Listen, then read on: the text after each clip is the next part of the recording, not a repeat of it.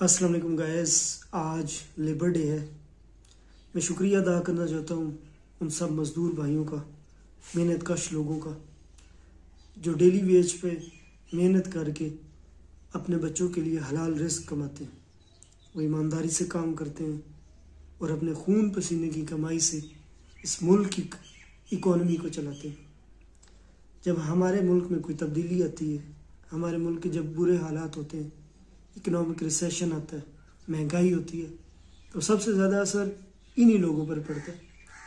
और जब हमारे मुल्क के हालात अच्छे होते हैं तो सबसे कम बेनिफिट भी इन्हीं लोगों को दिया जाता है। इसके बावजूद ये लोग मेहनत करना नहीं छोड़ते, ये लोग पीछे नहीं हटते, ये लोग नाउमीद नहीं होते, ये लोग और मेहनत करते हैं, ये मुल्क को आगे ले जाते हैं। यही वो लोग हैं जो आपकी सड़कें बनाते हैं। यही वो लोग हैं जो आपका ज़रात चलाते हैं। इनके बगैर ना आप खेती बाड़ी कर सकते हैं, इनके बगैर ना आप अपनी सड़कें बना सकते हैं, इनके बगैर ना अपने ऑफ़िस में कोई काम कर सकते हैं। अगर आप इसी में बैठते हैं तो इसके पीछे कोई मज़दूर है जो आपके लिए मेहनत कर रहे हैं। तो पाकिस्तान में तो मज़दूरों की बहुत ज़्यादा तादाद है। उसकी ये वजह है कि पाकिस्तान की बहुत ज़्यादा पॉपुलेशन यंग है, वो मेहनती है। और पाकिस्तान में सिर्फ़ नहीं, पाकिस्तानी मजदूर जो हैं, वो दुनिया भर में काम करते हैं। हमारे भाई दुनिया में जाकर मजदूरी करते हैं, बहुत ज़्यादा मेहनत करते हैं। और जो हम पाकिस्तान में रहते हैं, उनसे ज़्यादा मेहनत करते हैं। उसकी वजह क्या है?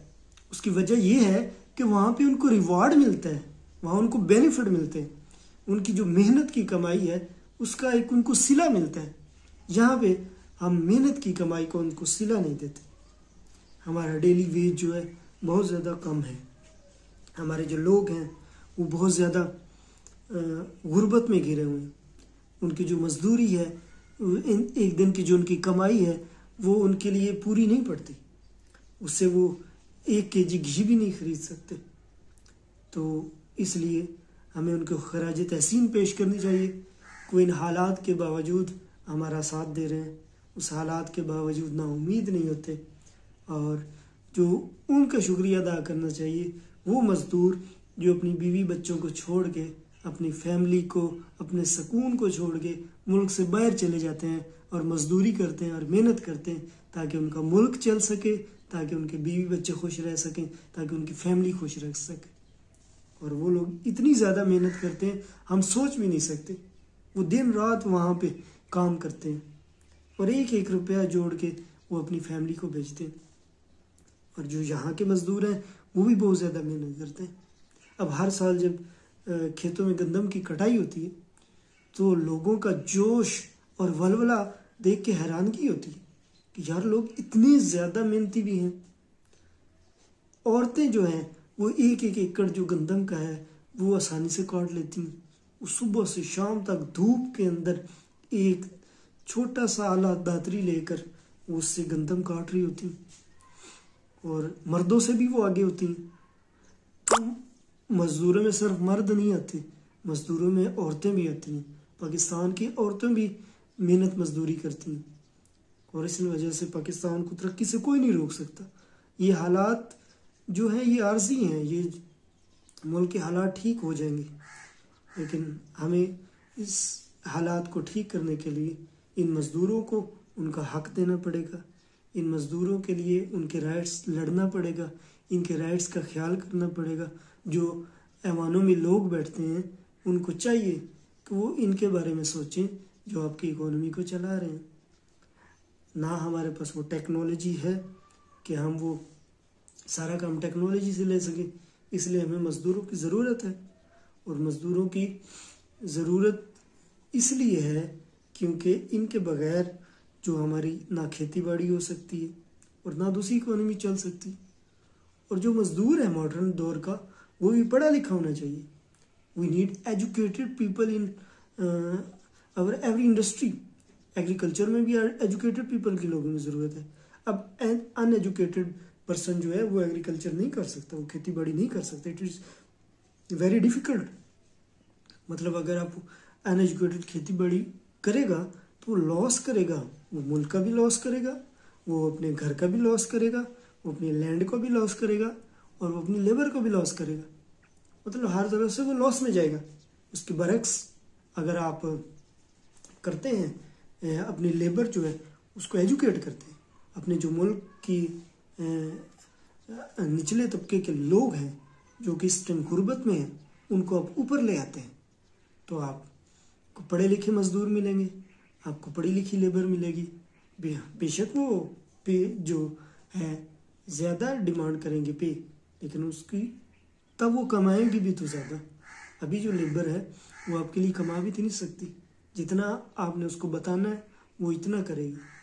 लेकिन जब वो पढ़े लिखे होंगे तो वो आपसे बेटर करेंगे। बाहर की कंपनीज़ में, जो पाकिस्तानीज हैं, ऑस्ट्रेलिया में, अमेरिका में जा रहे हैं, वो लेबर पाकिस्तान से मंगाते हैं। और कौन सी लेबर मंगाते हैं? पढ़े लिखे, उनको स्किल्ड बंदे चाहिए। और हम क्या करते हैं? अनस्किल्ड लोगों से हम भरे पड़े। हम अपने लोगों को कोई स्किल नहीं सिखाते। जो लेबर है हमारी, वो स्किलफुल नहीं है। इस लेबर के इशू को रिजॉल्व करना चाहिए।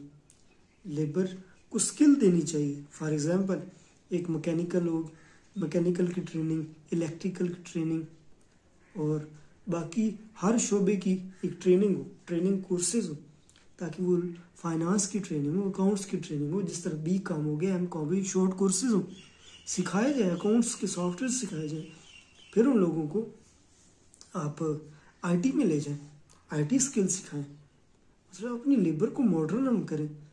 हमारी लेबर बहुत ज़्यादा बैकवर्ड है, जिस वजह से हम तरक्की नहीं कर रहे। हमारा मुल्क इसी वजह से बहुत ज़्यादा पीछे कि हमारी लेबर स्किल्ड नहीं है। चाइना में सारी लेबर स्किल्ड है। वो ये नहीं करते कि ठीक है बी एफ़ ए कर लो एम बी ए कर लो बी बी ए कर लो। वो ये नहीं करते। वो स्किल लेते हैं।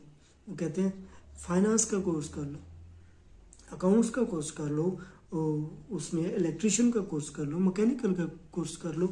वो हर चीज़ में ट्रेनिंग देते हैं। प्रोडक्शन का कोर्स कर लो, उसमें सॉफ्टवेयर डेवलपमेंट का कोर्स कर लो। जो आर्टिफिशियल इंटेलिजेंस है, उसका कोर्स कर लो। मतलब इस तरह की लेबर को मॉडर्न ट्रेनिंग देनी पड़ेगी। तभी ये हमारी गुर्बत ख़त्म होगी। तभी ये हमारे हालात ठीक होंगे। इंडिया जो है आईटी में इस टाइम नंबर वन है।